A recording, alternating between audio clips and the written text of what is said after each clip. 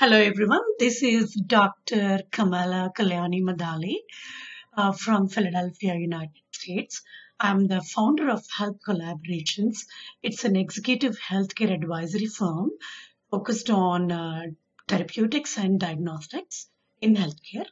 Um, I have 15 plus years of experience uh, at Merck, uh, Quest Diagnostics, and Quintiles, uh, focused in the clinical trials and novel drug development and diagnostic space. Um, as you all know, January 21st and 22nd arena, that's when the world's first uh, case of COVID was announced uh, from Wuhan, China. Right around that time, uh, myself and Dr. Prasun Mishra, who is the founder of American Association for Precision Medicine, nonprofit focus uh, based in um, San Francisco, we formed a coronavirus task force. Global Coronavirus Task Force. Um, it, it involves uh, worldwide experts, scientists, virologists, uh, biologists, um, technical experts, artificial intelligence experts, impact investors, um, um, and stakeholders, clinicians, and its stakeholders from various aspects of health the goal of uh, the AAPM ACT, which is um, American Association for Precision Medicine Coronavirus Task Force team, is uh, focusing on uh, multiple aspects. One is uh, prevention, uh, diagnosis, um, therapeutics, um, artificial intelligence based strategies, and impact based investment. Um, few uh, highlights are how do we take a life saving idea in the context of coronavirus or COVID 19 and leverage it through the network into a life saving solution.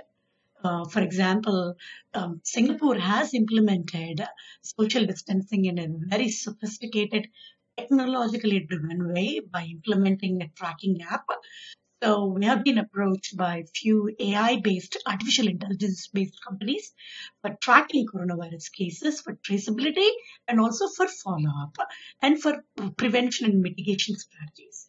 So uh, when such ideas come to the task force, we're engaging the uh, the national task forces, for example, the White House task White House task force, here in the United States and also relevant uh, country-specific uh, government bodies about such strategies. How do we take this idea immediately into a solution for helping with the COVID uh, pandemic um, in uh, the respective countries and also globally? And also in diagnostics, we have seen unparalleled collaboration between public and private uh, uh, initiatives as announced by President Trump and now by Prime Minister Narendra Modi in India, bringing in private labs also for testing. Uh, for example, in India, uh, we are seeing we are seeing based on mathematical modeling, we would need minimum 60,000 tests per day minimum. Um, and then in United States, we have seen just LabCorp and Quest Diagnostics announce, you know, they will be doing hundreds and thousands of tests per day, uh, actually uh, on an hourly basis to meet the demand because the biology of this disease is like that, uh, wherein you need to test and also retest as well. And then from therapeutics perspective, AAPM ACT task force is advising uh, novel companies, biotechnology companies in uh, nanotechnology, viral vector delivery aspects to really how to leverage this technology into a potential trial and then, you know, get the relevant investment and funding for, uh, you know, getting it potentially as a therapeutic down the road.